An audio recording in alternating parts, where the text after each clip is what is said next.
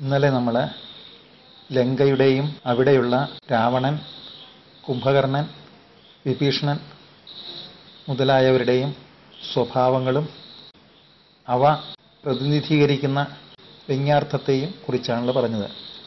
ഇനി നമുക്ക് ഓരോ സ്വഭാവത്തിന്റെയും പരിണത ഫലം കൂടി ഒന്ന് നോക്കാം. ഹനുമാൻ ലങ്ക ചുട്ടരിച്ച് നശിപ്പിച്ച് പോയതിന് ശേഷം രാവണന്റെ കൊട്ടാരത്തിലെ ചില കൂടിയാലോചനകളൊക്കെ നടന്നു. ഹനുമാൻ ലങ്കയിൽ കയറി കാണിച്ച ആ വിക്രമങ്ങളൊക്കെ യഥാർത്ഥത്തിൽ രാവണന് ഭയങ്കര ദുഃഖവും അപമാനവും ഒക്കെ ആയിത്തീർന്നു. ലോകചക്രവർത്തിയുടെ ദേവൻ ദേവന്മാർ പോലും ഭയപ്പെടുന്ന ആ കൊട്ടാരത്തിന്റെ ഉള്ളിലാണ് ഒരു വെറു ഒരു വാനരം കടന്നു കയറി ഈ പരാക്രമങ്ങളൊക്കെ കാണിച്ചതെന്ന് ഓർക്കുമ്പോഴാണ് രാവണന് കൂടുതൽ വിഷമം തോന്നിയത്. പക്ഷേ തന്റെ നിരാശ മന്ത്രിമാരോട് പറഞ്ഞപ്പോൾ രാവണന്റെ മന്ത്രിമാർ തന്റെ കേമത്വവും കൂറു പ്രഖ്യാപിക്കലൊക്കെ നടത്തി രാവണനെ പ്രോത്സാഹിപ്പിച്ചു. അവരുടെ ആ വിടുവായത്തം കേട്ട് രാവണൻ സന്തോഷിക്കുകയും ചെയ്തു. അപ്പോഴാണ് അനുജനായിട്ടുള്ള വിഭീഷണൻ പറയുന്നത് രാവണന് ഈ കൊടിയ അപമാനത്തിൽ നിന്ന് രക്ഷപ്പെടണമെന്നുണ്ടെങ്കിൽ സീതയെ രാമന് തിരിച്ചു കൊടുക്കണം. അല്ലാതെ ഈ വിടുവായന്മാരും ദുർമാർഗികളും ആയിട്ടുള്ള മന്ത്രിമാരൊക്കെ പറയുന്നത് കേട്ട് മുമ്പോട്ട് പോകരുത് എന്ന് പറഞ്ഞു. പക്ഷേ ഈ വിഭീഷണൻ ഇങ്ങനെ പറഞ്ഞപ്പോൾ രാവണന് യഥാർത്ഥത്തിൽ ദേഷ്യമാണ് വന്നത്. വിഭീഷണനെ കുലദ്രോഹിയെന്നും ഭീരു എന്നൊക്കെ വിളിച്ച് പരിഹസിക്കുകയും ഉടനെ തന്നെ ലങ്ക വിട്ടു പോയിക്കൊള്ളാനും ആജ്ഞാപിച്ചു. ഇതിന്റെ അർത്ഥം വിനാശകാലത്ത് നല്ലത് പറഞ്ഞു തരുന്ന ബന്ധുക്കളെ മൂഢന്മാരെ സാധാരണ ഉപേക്ഷിക്കുന്നുള്ളത് തീർച്ചയാണ്. ഇവിടെ സാത്വിക ഭാവമായ വിഭീഷണന്റെ വാക്കുകൾ ഈ രാജസഗുണം ആയിട്ടുള്ള രാവണൻ തള്ളിക്കളയുന്നത് സ്വാഭാവികമാണ്. ലൗകികമായ നേട്ടങ്ങളും സുഖങ്ങളും ഒക്കെ കുന്നുകൂടി അതിന്റെ മോളിൽ കയറിയിരുന്ന് താൻ എന്തൊക്കെയോ നേടിയെന്ന് വിശ്വസിച്ചിരിക്കുമ്പോഴാണ് താൻ നേടിയതൊക്കെ വെറും ചവറാണെന്ന് മനസ്സിലാക്കാൻ അവൻ ഒരുക്കം അവന് എളുപ്പം സാധിക്കില്ല. സത്യം ചൂണ്ടിക്കാണിക്കുന്നവരുടെ അവർക്ക് ഭയങ്കര വിരോധമായിരിക്കും. ആ ഭൗതിക ഭ്രാന്തിന്റെ വലയത്തിൽ നിന്ന് മോചനം ലഭിക്കാൻ മനസ്സ് ശ്രമിക്കുമ്പോൾ നമ്മുടെ ഉള്ളിലെ രജോ ഗുണം ശക്തമായിട്ട് പ്രതികരിക്കുകയാണ്. നമ്മുടെ ലൗകിക ഭാവത്തെ ഒറ്റപ്പെടുത്താൻ അത് മുന്നിട്ടിറങ്ങും.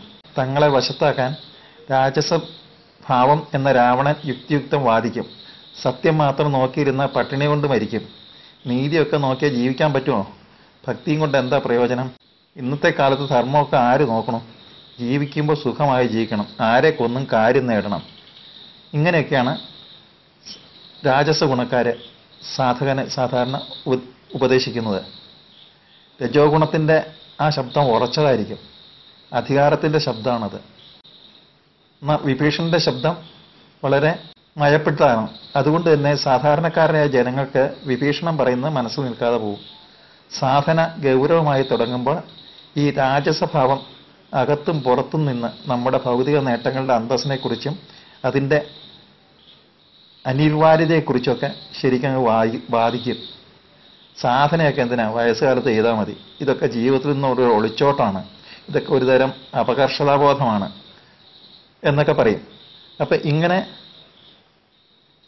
രാവണന്റെ മന്ത്രിമാരെ അവരുടെ വാക്കുകളിൽ മയങ്ങിപ്പോകാതെ സാധകൻ അതായത് ഈ ഇത്തരം ഉപദേശങ്ങളിൽ നിന്ന് രാവണന്റെ മന്ത്രിമാരെ പോലെയുള്ള ഇത്തരം ആൾക്കാരുടെ ഉപദേശങ്ങളിൽ മയങ്ങിപ്പോകാതെ നമ്മൾ സാധാരണ ഒരു സാധകൻ പ്രത്യേകം ശ്രദ്ധിക്കേണ്ടതാണ്.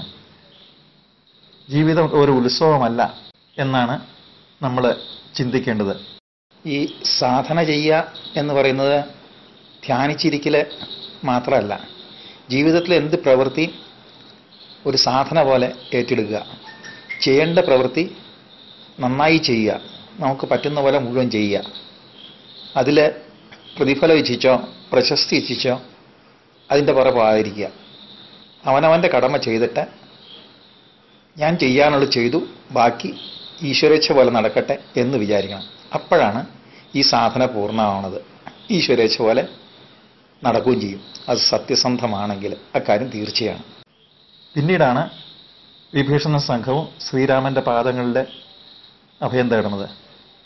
ശ്രീരാമൻ അവർക്ക് അഭയം നൽകി എന്ന് മാത്രമല്ല വിഭീഷണനെ ലങ്കയുടെ രാജാവായി അഭിഷേകം ചെയ്തു. ഇവിടെ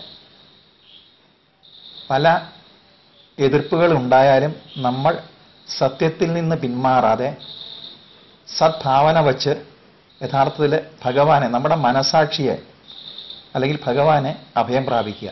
ആ അഭയം പ്രാപിക്കുമ്പോൾ നമുക്ക് അദ്ദേഹം രക്ഷ തരും എന്നാണ് ഇതിന്റെ അർത്ഥം. ഇതാണ് സാത്വിക ഭാവത്തിന്റെ അനന്തരഫലം.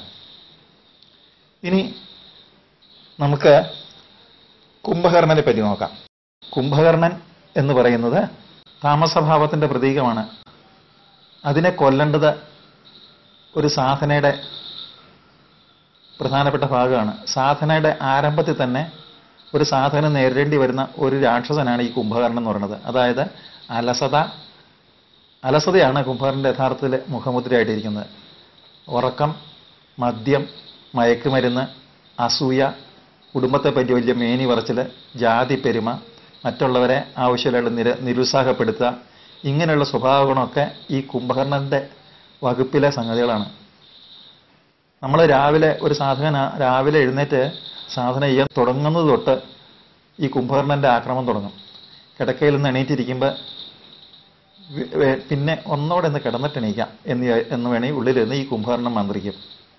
അപ്പം കീഴ്പ്പെട്ട് പോയാൽ പിന്നെ കൂടുതൽ ഉറങ്ങാനുള്ള പ്രവണതയാകും. മദ്യം മയക്കുമരുന്ന് തുടങ്ങിയ നാശങ്ങളുടെ ഇടവഴിയിലേക്ക് പിന്നെ സാധകൻ തിരിയുകയും ചെയ്യും. അങ്ങനെ ചെയ്യാതിരിക്കണമെങ്കിൽ അത് ആരംഭത്തിൽ തന്നെ നുള്ളിക്കളയണം.